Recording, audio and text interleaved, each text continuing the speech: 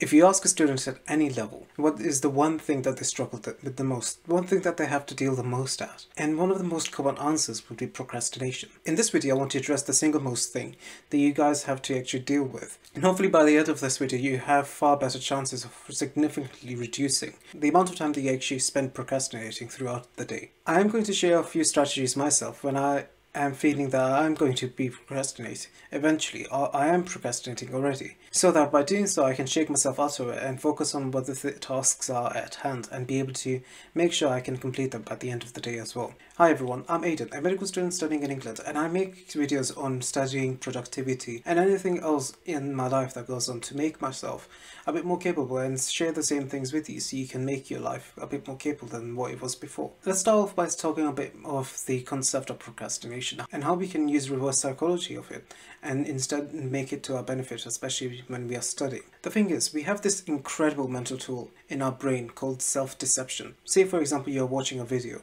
or playing a game. The more tendency is that once you're actually coming to nearer to the end or nearer to this time that you allocated that video game to be at, let's just watch the next one. Uh, let's just spend five more minutes on the video game that I'm doing. And what tends to actually happen is that that one video that you're supposed to be turned out to be several more that you watched subsequently after that. The question is, why do you actually do it? It's mainly because of the dopamine hits that you get by making sure that you're spending a lot longer on the things that you like.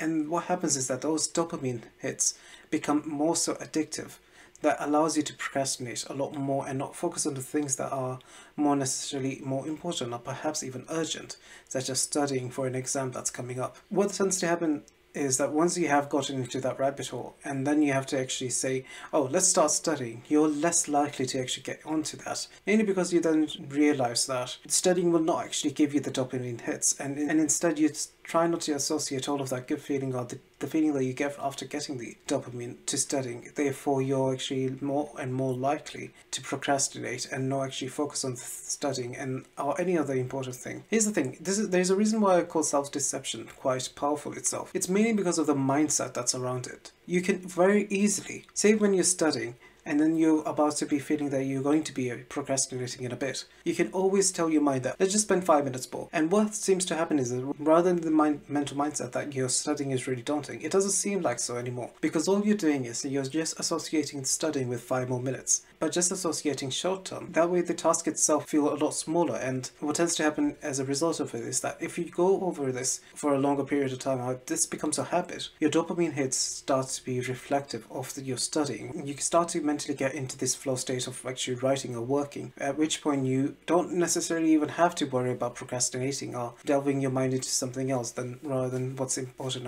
at hand in front of you. And that way it allows you to accomplish all of the things that you attended to. Uh, the task eventually gets completed exactly as how you wanted it. So with the overarching concept itself out of the way, let's talk about the next six actionable steps that you can take yourself that I use to actually further benefit your game and only focus on the things at hand, the important ones, rather than the things that only give you short-term joy. The first step to begin with is to be aware of when you are going to procrastinate. This is really important mainly because of the fact that if you need to actually solve a problem, you need to realize that there is a problem that exists in the first place to begin with. Because what tends to happen mainly is that it is very easy for us to procrastinate for long periods of time without us realizing that, oh, we have actually been procrastinating, whereas we should be doing on other things that we have planned out to do. This is again mainly because you have been rather enjoying yourself or anything that gives you the reason to procrastinate with. And only after spending several hours or several mm. months of time or a large amount of time, then you realize at a bit more of an urgent basis that you need to get this done and get it sorted immediately. And th because of these reasons and making sure that you don't actually get into this habit of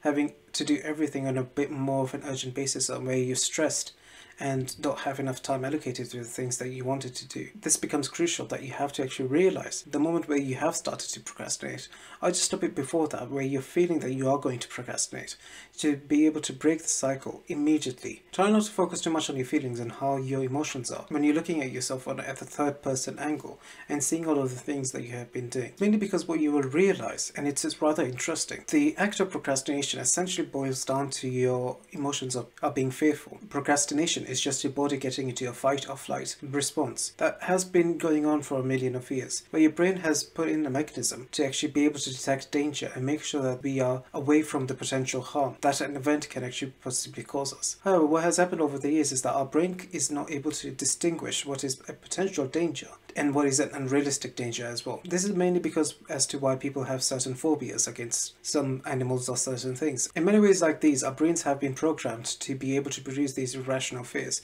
even though they don't necessarily have an, intended harm to ourselves. So when it comes to, for example, complex tasks that we have set out to do, and when we start to procrastinate, what tends to happen is that our brain psychologically thinks that we are doing a terrible job at doing the task. Our brain kicks in the flight response of it in the intention to be able to delve from the actual task itself, to keep us away from the unrealistic harm. This could very well be your case, and it has been for me as well. I have a certain assignment due, uh, I have to prepare for an exam, but the act of actual preparation, or the act of the exam looming over, has an inherent fear in itself, being able to actually succeed in it or not. One way to actually cope with it is whenever you get into this fight or flight mechanism, try to always go for fight instead. So what, what this means is that you're somewhat negating the fact that you have to run away from something, but rather you're facing it head on what you're doing is that once your body kicks into that response, you're far less likely to get into procrastination because you're not intending to run away from it, but instead you're wanting to fight for it, having your emotions and everything in check while also acknowledging them. That way you're able to do the task and continue with it and continue to completion as well. Be aware of your inner dialogue. You need to pay attention to all of the excuses that you're making to yourself when you are intending to study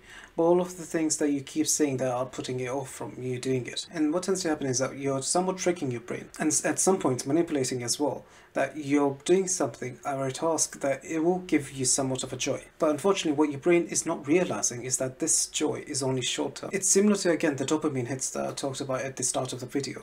It's not going to be beneficial in the longer term. It can be very damaging in itself as well. And say, for example, you have to wake up early and you have set yourself an alarm. And what tends to happen from there is whenever the time comes, you're somewhat awake, but you hit on snooze to actually get two minutes or five minutes more, a bit of rest in bed. And you keep on doing it over and over again. And what tends to happen as a result, you're in bed for 15, possibly 30 more minutes than you intended to. So when it comes to these type of things, you need to always evaluate yourself exactly as to the reason why you're being able to hit the snooze. By doing so, you, you can actually see what are the pros and the cons of it.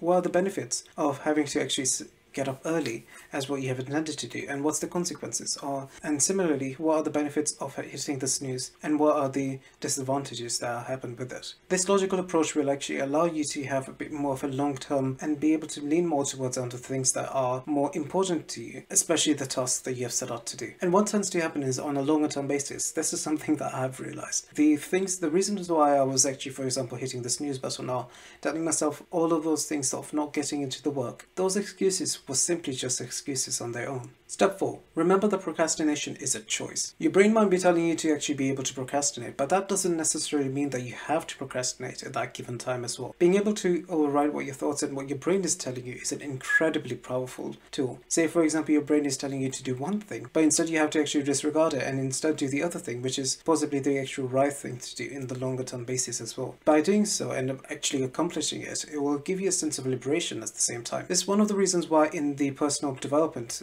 community. There's lots of things going on about how spending a whole 30 days of having cold showers, or even spending your 30 days a bit differently and seeing how you are able to cope up with it. This gives you that you are in complete control, and that way you are able to actually justify exactly what things are important to you and just do them rather than your brain or anyone else psychologically saying that these are the appropriate things to do. Of course, acknowledging all of those ones are equally as important, but you need to also be able to justify what things are uh, right and be able to go with them. Step 5 is break the task down. Breaking up the task, or what some people also call it as chunking, is something that a lot of people already do. It's the whole essence that if, you say for example, if you have a 2000 word essay due in, in the next month or so, you can easily break it down to rather than just focusing on it as a 2000 word essay, you can do it instead of chunks of 100 or 200 words every night daily or somewhat of a regular basis. By dividing the overarching assignment into smaller things, it automatically starts to feel a bit more manageable. By doing so, you, it doesn't feel as daunting at them anymore you not only are able to actually complete the assignment in its full top quality as to what you are wanting to do. But it's not actually dealing with as much, you know, having to do all of them in a short burst. I also made a dedicated video on how I was able to do one of my medical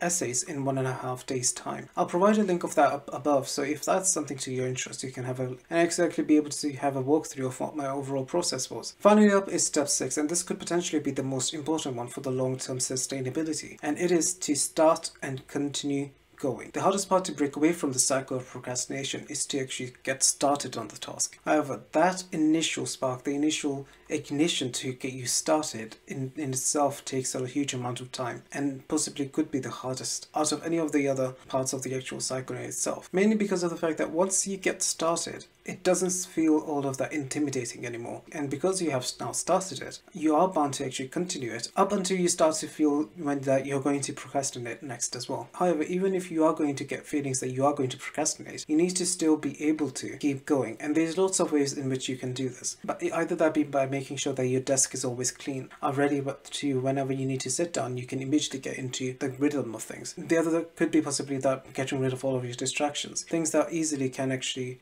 make your mind go somewhere else rather than just focusing on the task up ahead of you. Or even if you like, you can always do it with a, amongst a group so you can have someone accountable. Where you, if you are about to start procrastinating, you have someone there to account for you, and you also do can do the same thing for the other person at the same time. Of of this, obviously, you need to make sure that they are someone that you can easily work with by actually finding that someone and being able to do that regularly. You are far more likely to actually continue working only because of the fact that you because you have your friends supporting it, and it, and this becomes this further support that you're not actually doing this on your own. Overall, what you then start to actually realize that even if you start doing a couple of things that I've mentioned up above, you'll find this feeling of satisfaction or you're more content with yourself. But mainly because of the fact that you're not doing any of the destructive habits that in the long term basis will damage you, but mainly because you are in the right control of mind and you're doing things exactly as how you want them to be, rather than listening to just your brain solely and going with what naturally comes to your brain. And hopefully you are able to actually get into this encouraging and incredibly empowering mindset, which will only make boost your productivity and hopefully also boost up your grades or any of the tasks that you are intending yourself onto. So that was the strategies that I use whenever I'm feeling procrastination and I still do up at this stage because procrastination truly actually never leaves. You just have to have things to manage with it and be the best to deal with it, which naturally comes with time and practice itself. If you did like this video, drop a like, and if you haven't already subscribed, do consider clicking on the subscription button as well as the bell icon so you stay up to date with any of my studying tips and techniques videos that come up at the same time. In the meanwhile, I'll see you on the other video that I recommended.